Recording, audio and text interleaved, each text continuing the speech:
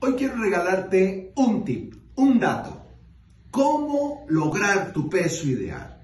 Lo primero, primero que tienes que tener claro es cuál es tu peso ideal. La gente empieza a, a decir a hacer dietas, a meterse al gimnasio y uno le pregunta, ¿para qué hace? Para bajar de peso. ¿Y cuál es tu peso ideal? No sé. Yo creo que entre 50 y 60. Yo digo, no, la mente inconsciente es perfecta y te lleva a tener tu peso ideal, pero tienes que decirle cuál es tu peso ideal. Y lo segundo es que tienes que programarte en presente. Tienes que empezar a decir, yo peso mi peso ideal.